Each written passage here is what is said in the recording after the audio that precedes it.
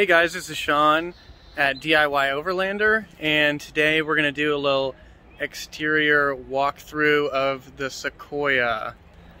So right now we're home based, but um, Sequoia is going through some maintenance right now.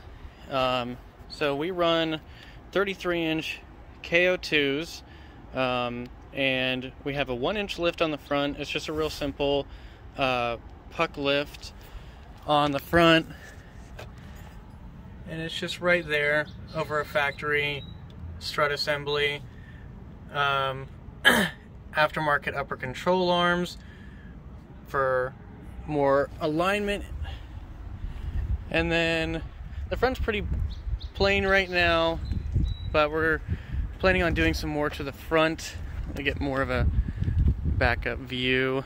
There you go. There she is so we got the snorkel on the front. This is actually this is actually integrated in. It's not just for show. Um, both inner wheel well liners are out, um, so that way you can get more up and down travel for the front tires because I kept rubbing them and they were just destined to come off. Um, we got some Rago fabrication um, ditch light brackets and I just had these KC lights sitting around from a previous build. Um, so hopefully I'll be able to swap these out to some 2x2 uh, square LED ones. Um, so after that, we just got the 8 foot uh, Smittybilt awning on the side. We've had this for about three years now. This was on my Tacoma.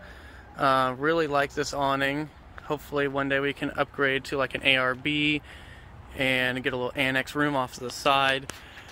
So up here I get a lot of questions about the basket. This is a Yakima Load Warrior basket and it's not an average one because this one actually has two extensions on it.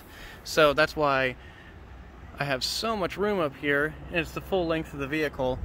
Um, we carry two four gallon RotopaX on top at all times because uh, the Sequoia likes to drink gas.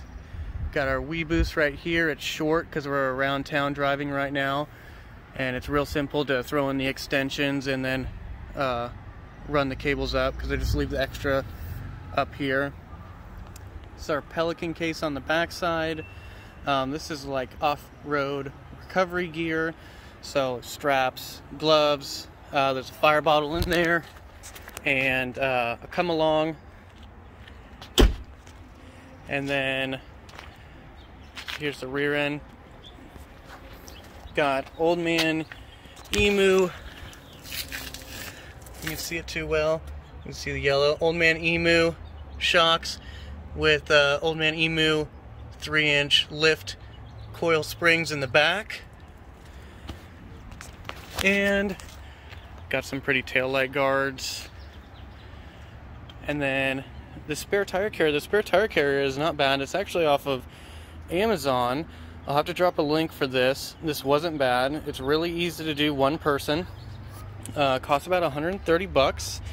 And then just spring for um, this little anti-shake plate right here that goes around. It'll cost you like 10 bucks, uh, but that way this isn't like shaking all about going down the highway or going on a trail and you see your rear tire shaking because you don't have that.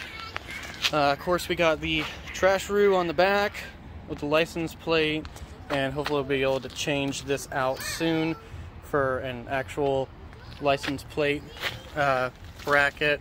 Right now we just have zip ties holding it on, which one of these have already broken on the trail, so really need to swap that out. um, and then just stickers of the different brands we like to rep. And this is my wife's company that does all my vinyl on the outside. And that's about it. Oh, and we'll talk about this later. This is the new Dometic CFX3 55IM. Um, but that's it really for the exterior besides, you know, the rain guards and hopefully we'll be able to do some more upgrades here soon.